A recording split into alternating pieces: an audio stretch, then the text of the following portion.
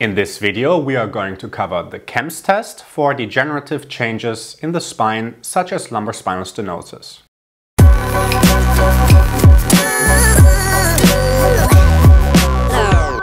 Hi and welcome back to Physio Tutors.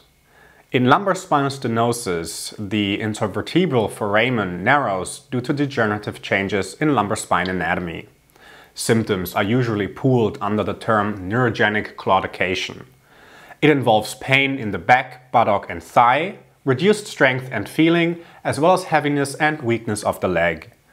Symptoms are provoked in lumbar spine extension, occurring during standing and walking for example. The Kemp's test, which is also referred to as quadrant test or extension quadrant, is designed to recreate this narrowing. Furthermore, it puts maximal stress on the facet joints. It has a reported sensitivity of 70% as reported by Lyle et al. in 2005. To conduct the test, the patient is standing.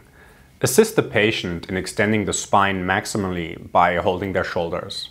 Then the patient should rotate and lateral flex to the site of pain. A positive test will show in the reproduction of the patient's symptoms. If symptoms are more concordant with those of neurogenic claudication, lumbar spinal stenosis is likely. If pain is predominant, degenerative joint disease of the facet joints can be at play. Okay, thanks for watching this video. Please like and subscribe to support our channel and follow us on social media. You can watch more videos by clicking the thumbnail on the left. This was Andreas for Physio Tutors. I'll see you in another video. Bye.